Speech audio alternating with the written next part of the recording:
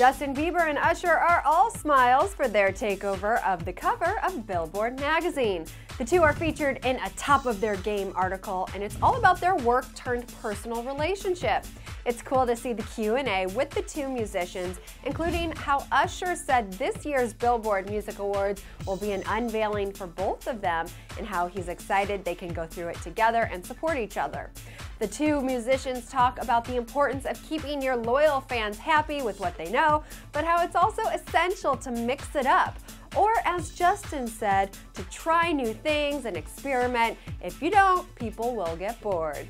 JB even added in that his mentor played him a bunch of new songs at the studio recently, and they're unlike anything he's ever heard.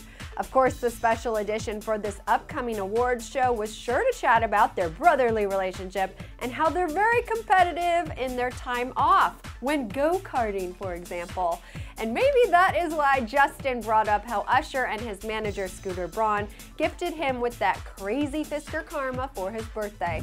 It's basically a really expensive and fast go-kart, right? All right, guys, that is the latest for now. Remember to tune in to the Billboard Music Awards on ABC Sunday, May 29th at 8, 7 p.m. Central. I'm Dana Ward coming at you from our Clevver TV headquarters, and we'll see you soon.